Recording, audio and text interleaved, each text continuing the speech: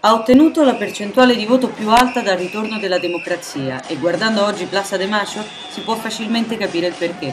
Migliaia di persone si sono radunate infatti per festeggiare la vittoria di Cristina Kirchner, la presidenta, come affettuosamente chiamata in patria, eletta alla guida dell'Argentina per la seconda volta consecutiva.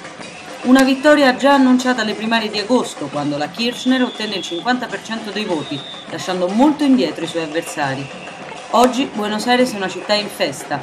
Tamburi, balli e canti si sentono quasi in ogni angolo e soprattutto hanno riempito Plaza de Mayo, la stessa piazza dove quasi un anno fa la popolazione si era radunata per dare l'ultimo saluto a Nestor Kirchner, amatissimo presidente morto il 27 ottobre scorso. La festa davanti alla Casa Rosada, la sede del governo, è andata avanti fino a notte inoltrata, vista anche l'incredibile presenza dei giovani durante le celebrazioni. Questo sicuramente è uno dei risultati della politica dei Kirchner, hanno riportato i giovani in piazza. Ora l'attenzione su cosa farà la Presidenta in questo mandato, il primo che affronterà davvero sola, ma con una maggioranza al Congresso che le permetterà di approvare qualsiasi riforma senza nemmeno consultare l'opposizione.